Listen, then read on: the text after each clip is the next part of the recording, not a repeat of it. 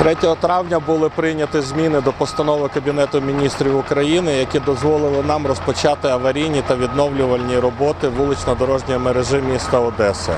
Були вибрані самі е, першочергові аварійні ділянки. Ці, ці ділянки та вулиці були погоджені з районними адміністраціями та головою військової адміністрації. На сьогоднішній день підрядні організації працюють у всіх чотирьох районах міста Одеси. Пріоритетом було е, вулиці, які е, на сьогоднішній день потребують е, аварійного ремонту або відновлювальних робіт. Це найбільш кричащі вулиці, такі як, наприклад, вулиця Заболотного, перехрестя Заболотного та Добровольського. Це зараз, де ми знаходимося, проспект Гагаріна.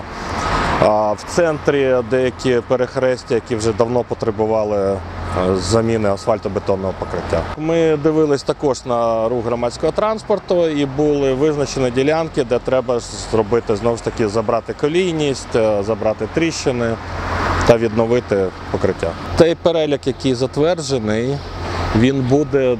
Будемо працювати ще до кінця червня, початок липня. Це був першочерговий перелік. Наступний перелік буде також погоджений. В нього ми вже чекаємо на заявки від знову ж таки районних адміністрацій та інших для того, щоб зробити аварійні роботи.